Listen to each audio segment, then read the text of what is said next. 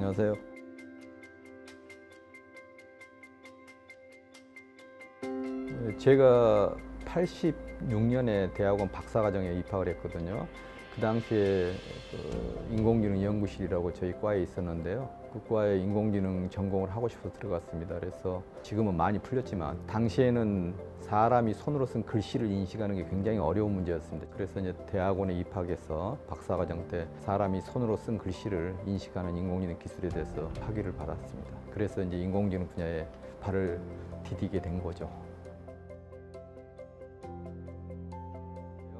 저희들이 크게 분야를 나눈다면 컴퓨터 시각 분야가 있고 언어 처리 분야, 음성 인식이나 자연어 처리 분야라는 게 있고요. 그 기계가 학습을 할 수 있는 기계 학습 분야라는 게 있고, 그다음에 뇌 정보 처리 분야 등도 있습니다. 학습된 지식을 추론하는 분야도 있고요. 이렇게 다양한 분야가 있는데 다 중요하지만 추론 분야가 굉장히 중요하고 최근에는 물론 machine learning, deep learning이 각광을 많이 받고 있지만 궁극적으로는 추론하고 어, 판단하는 분야가 굉장히 중요하다고 생각합니다. 지금 연구자들이 몰려 있는 상태로 보면 컴퓨터 시각 분야 연구자들이 굉장히 많은 편입니다. 상대적으로 특히 이제 자연어 처리, 언어 처리 같은 분야는 굉장히 연구하는 분들이 적은 편인데 이 분야의 연구가 필요하고 사람들이 많이 필요하고 특히 학습 분야, 원천 기술들 이런 분야에 대한 연구도 굉장히 중요하다고 생각합니다.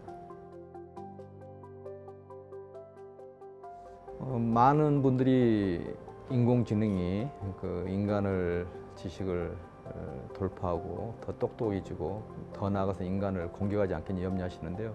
그럼에도 불구하고 인간은 결국은 기계하고 달리 특히 창의성 부분을 굉장히 발전시키는 게 중요하다고 생각합니다.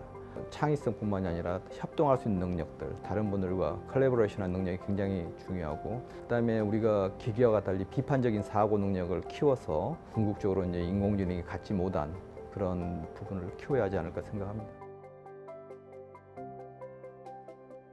베르나르 베르베르의 뇌라는 장편 소설이 있거든요. 거기에 보면 결국은 전신마비 장애인이 나오고 그 사람이 자기의 뇌를 컴퓨터하고 접속시켜서 결국 그 컴퓨터를 통해서 세상과 아, 소통하고 어, 그런 내용이 나옵니다. 어, 그 내용이 제가 이제 이번 강연에서 소개하고자 하는 neural interface 또는 뇌 컴퓨터 인터페이스의 핵심 기술이 되는 거죠. 결국 그 안에서 외부에 접속하고 또는 인공지능과 결합할 수도 있는 것이고요. 따라서 이제 그 베르나르 베르베르의 뇌가 결국은 제가 이제 강연하고자 하는 주제하고 연결도 되고 그다음에 거기에서 기술이 앞으로는 상당히 중요한 기술이 되고 어, 그럴 거라고 생각이 돼서 저는 뇌라는 장편 소설을 읽어보시길 추천드립니다. 저는 이제 neural interface 또는 뇌 컴퓨터 인터페이스에 대한 주제에 대해서 소개해드리고자 하는데요.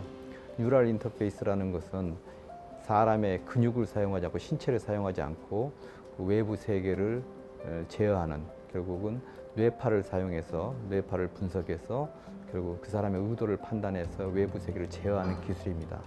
그래서 그런 내용의 기술 현황을 먼저 소개해드리고 그럼 그런 기술을 통해서 앞으로 어떠한 미래 기술이 가능한지를 간략하게 사례를 들어서 소개해드리고자 합니다.